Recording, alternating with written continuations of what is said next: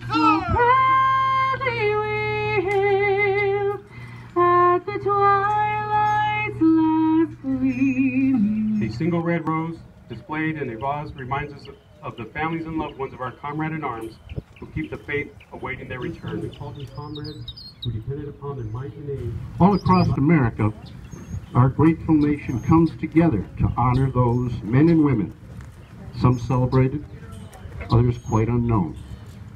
Each a patriot and a hero. More than 1.2 million have fallen in combat during the 242-year history of our nation. It is right that we pause to remember them, and in remembering, honor their selfless, selfless sacrifice. We have the 622 in their memory.